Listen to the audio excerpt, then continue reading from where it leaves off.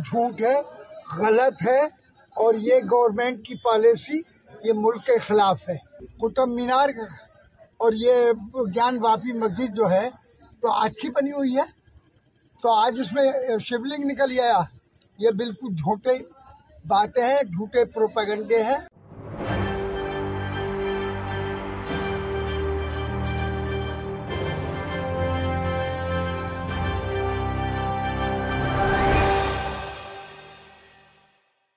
ज्ञानवापी मस्जिद का मुद्दा हो और शफीकुर रहमान बर्क किस तरह से चुप रह जाए, आखिरकार ये भी देखने वाली बात है। जो अभी आपने कुछ शफीकुर रहमान बर्क के बयान सुने, ये साफ़ तौर पर दर्शाते हैं कि शफीकुर रहमान बर्क कितनी कट्टरता के साथ अभी इस वक्त मुसलमानों को भड़काने में लगे हुए हैं। शफीकुर रहमान बर्क से जब इस बारे में पूछा गया कि आखिरकार वो ज्ञानवापी मस्जिद को लेकर के क्या सोचते हैं तो उन्होंने ये बताया कि ज्ञानवापी मस्जिद आज से नहीं, कुतुब मीनार आज से नहीं, बल्कि कई सालों पहले से वहाँ खड़ी हुई है और अचानक वहाँ पर शिवलिंग कहाँ से निकल आया? उन्होंने इस तरीके के सर्वे को भी गलत बताया। उन्होंने साफ़ तौर पर यह भी कहा है कि सर्वे जो हो रहा है गलत हो रहा है और जिस तरह का एजेंडा और जिस तरह का प्रोपेगेंडा इस वक्त सरकार फैलाने की कोशिश कर रही है बेहद निंदनीय है। तो चलिए आपको सुनाते हैं आखिरकार शफीकुर रहमान बर्ग किस तरह से केंद्र सरकार पर हमलावर हुए किस तरह से उन्होंने निशाना साधा और क्या कुछ कहा उन्होंने अपने इस बयान में? चल रहा है ज्ञानबाजी मस्जिद है वो और वाराणसी का ये पूरा मामला है। मस्जिद में शिवलिंग निकाला गया क्या कहना चाहेंगे? बिल्कुल झूठ है गलत है और ये गवर्नमेंट की पॉलिसी ये मुल्क के खिलाफ है। और मुसलमान भी हम यहीं के रहने वाले हैं, यहीं रहेंगे, यहीं मरेंगे, यहीं जिएँगे। अगर मुसलमानों के साथ इस की पॉलिसी बढ़ती गई और ये जगह जगह जो इस तरह की नफरत फैलाई जा रही है तो इससे मुल्क को नुकसान होगा। हमें ही नहीं, मुल्क को भी नुकसान होगा।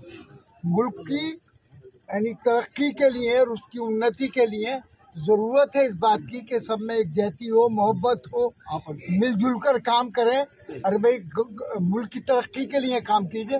ये तो नफरत फैला रहे हैं। आज की बनी हुई है कुतुब मीनार और ये ज्ञान वापी मस्जिद जो है तो आज की बनी हुई है। तो आज उसमें शिवलिंग निकल आया। ये बिल्कुल झूठे बातें हैं झूठे प्रोपेगंडे हैं। इसको हम कभी बर्दाश्त नहीं करेंगे। अच्छा सांसद जी और मैं सारे मुसलमानों से भी कहूँगा कि मुसलमान इस पर सरजोड़ कर बैठे और इसका अपने मुस्तबिल के लिए और मुल्क के लिए सोचें। जिस तरीके से मस्जिद पे सील करने की भी कोई मांग की जा रही है हिंदू समुदाय के लोगों से शिवलिंग निकलने के बाद तो आप क्या कहना चाहेंगे इस पर? शिवलिंग को, कोई मस्जिद की सीलिंग नहीं कर सकता। हमारी जाने कुर्बान हो जाएँगी उस पर। किस तरीके की मांग करना चाहेंगे जिस तरीके से लोग विरोध कर रहे हैं? मस्जिद मस्जिद रहे मंदिर मंदिर रहे हमें किसी के मंदिर पर कोई इतराज नहीं है। वो जो भी इबादत करते हैं करें। ना हमें उनकी इबादत पे एतराज़ है न किसी उस पर एतराज़ है। वो उनका मजहबी मामला है। वैसे ही हमारा मजहबी मामला हम मस्जिद में जाते हैं अल्लाह अल्लाह करते हैं। अल्लाह से अपनी खताओं की माफ़ी चाहते हैं। और कोई मकसद नहीं होता हमारा। वहाँ कोई पॉलिटिक्स नहीं होती कोई न, और कोई काम नहीं होता। सांसद जी जिस तरीके से मस्जिद पर कब्जा एक रूप से किया जा रहा है और बताया जा रहा है लोगों द्वारा तो इसमें कहीं ना कहीं दो समुदायों को लड़ाने का काम भी किया जा रहा है। तो इस पर क्या कहना चाहेंगे? तो ये तो ये ये पॉलिसी ठीक नहीं है गवर्नमेंट की। इसलिए गवर्नमेंट को मुल्क को तकसीम नहीं करना चाहिए।